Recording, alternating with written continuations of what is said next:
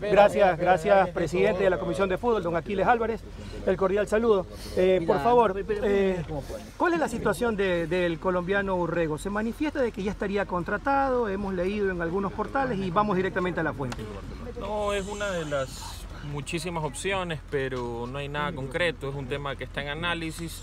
Eso no significa que esté contratado ni nada por el estilo. Pero han conversado con él, el jugador seguro eh, ha manifestado de que han tenido diálogos y al parecer han llegado a un acuerdo, un entendimiento. Eh, bueno, siempre que hay opciones, eh, para tener una opción real hay que consultar todo para saber cuál es la situación de- del jugador, pero eso no significa que esté contratado. Pero entonces están buscando un zaguero central o de por ahí les causa eh, de pronto preocupación el, el bloque defensivo de Barcelona. No, a mí no me preocupa. Son eh, partidos amistosos. Recién salimos de la pretemporada, así que yo creo que tenemos eh, cuatro grandes centrales que dos, algunos de ellos fueron semifinalistas de América y bueno, hay que seguir confiando en ellos, trabajando, más que pensar en que un solo jugador venga a solucionarnos un supuesto problema que yo hoy por hoy no lo veo. ¿no? Dice, dice otros nombres directivos. En Argentina se habló, se escuchó de Juan Manuel Insurralde, ¿cierto? ¿Esa Para nada, pri- primera vez que lo escucho, Leonardo. Se decía que se lo habían ofrecido a Barcelona. La verdad que no. Presidente, Urrego ha reconocido desde Colombia que tiene acercamiento con Barcelona. Bueno, puede haber tenido acercamientos, pero eso no significa que esté contratado. Es un tema de análisis. Esta semana tenemos comisión de fútbol. Eh, yo en lo personal creo que no hay que reforzar la defensa, creo que estamos bien. Hay que darles confianza a los centrales que tenemos y trabajar duro, ¿no? Eh, corregir eh, la desconcentración que por, por momentos hemos sufrido en los partidos y nos han marcado goles. ¿Con Pero eso no, significa que estamos mal tampoco. Presidente, lo cierto es que ante tantas especulaciones de eh, jugadores extranjeros eh, se va a llenar el cupo que, que dejó Alves, ¿no?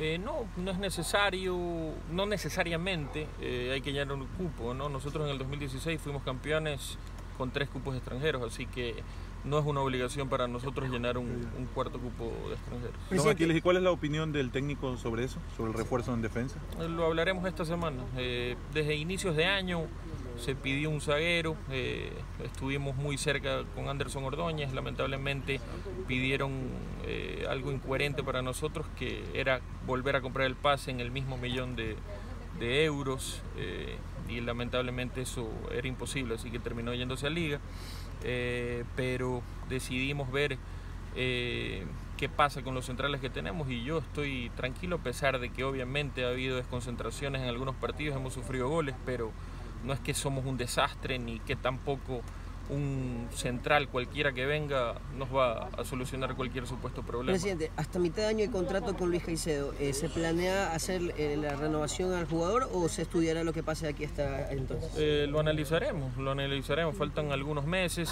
eh, y tomaremos la decisión en su momento. Presidente, ¿con cuántos jugadores se han conversado, ha conversado la dirigencia de Barcelona como para contratar en, de zaguero central?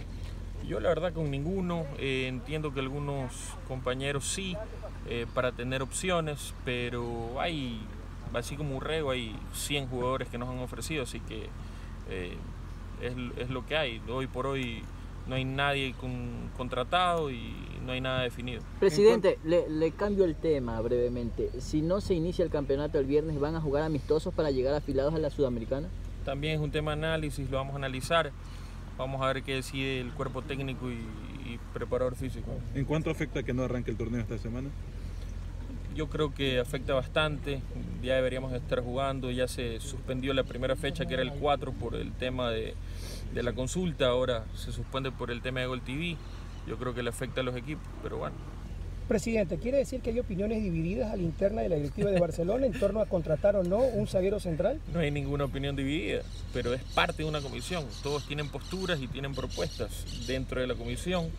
Yo creo que no procede traer un central, pero puedo estar equivocado y hay que escuchar, así que lo analizaremos en comisión de Se, fútbol. se lo pregunto, presidente, porque usted manifestó de que a inicio del año el técnico sí pidió un zaguero central. A estas alturas, ¿insiste con, el, con, la, con la incorporación de un nuevo jugador en esa posición? Eh, no hemos hablado con el técnico y no hay insistencia de por medio, así que vamos a ver qué pasa esta semana. Sí, Presidente, ¿La parte económica es una limitante también para contratar? Sí, por supuesto, estamos con el presupuesto hasta ahí. Eh, ya no hay más espacio para otros jugadores, pero más allá de eso, yo creo que tenemos un gran plantel y hay que seguir trabajando. Presidente, finalmente se anunció a Guacho Vera en el City. ¿La negociación es un préstamo sin opción a compra? Sí, por supuesto, préstamo sin opción. Guacho tiene cuatro años más con Barcelona, eh, tendría que regresar el próximo año. La idea es que tenga minutos, eh, que, que madure como jugador y poder disfrutarlo en el 2019. ¿no? En ese orden de cosas, lo de Michael Arroyo, tres años, Barcelona compra la totalidad de la carta pase.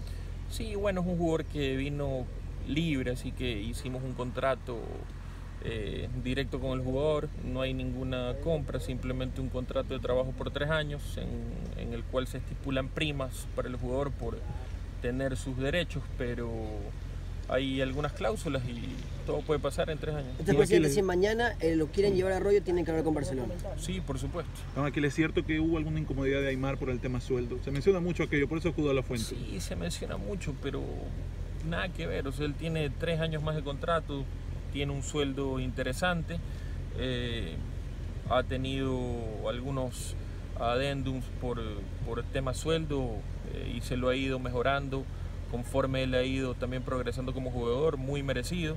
Y en caso de que consideremos que hay que volver a hacerlo, lo haremos, pero, pero no, no procede que, que un jugador esté molesto, y estoy seguro que él no lo está, porque tiene un contrato de trabajo el que él aceptó y, y tiene que jugar si es requerido por el técnico. Directivo, de esos defensas que le han ofrecido, ¿hay alguno nacional o todos son extranjeros? Todos extranjeros, Leonardo. Hay pocas opciones también, ¿no? A estas alturas. Sí, eh, no siempre hay pocas opciones, yo creo que hay algunas, pero pasa más por el tema de analizar si es necesario o no. Listo, gracias presidente.